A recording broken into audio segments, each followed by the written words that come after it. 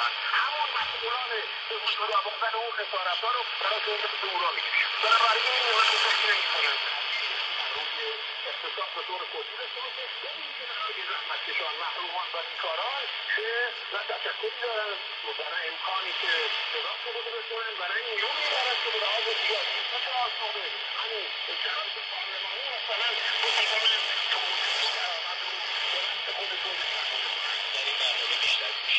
بازگو کننده دیدگاه گروهی از موافقان توافق هسته یخی میان جمهوری اسلامی و قدرت‌های جهانی باشیم. آنهایی که در مجموع معتقدند توافق می‌تواند به باز شدن فضای سیاسی و اجتماعی ایران کمک کند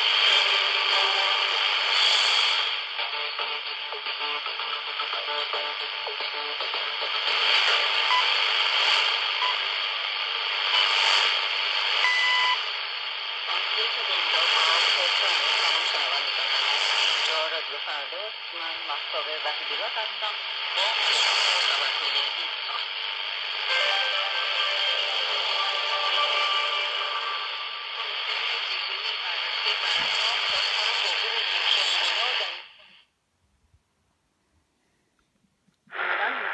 دستور پلیس مجارستان با پناهجو از شوخی شدند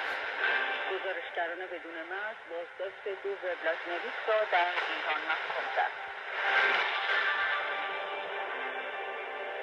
کمیسیون ویژه بررسی برجام در مجلس با ارسال درخواستی شخصی به وزارت خارجه ایران خواستار حضور یکی آمانه و مدیرکل آژانس بین المللی انرژی اتمی در یکی از نشستهای این کمیسیون. شد به گزارش خبرگزاری خانه مبلغ کمیسیون برجام و نامه خود هدف از این درخواست رو مطرح کردن حساسیت نمایندگان مجلس درباره نهاد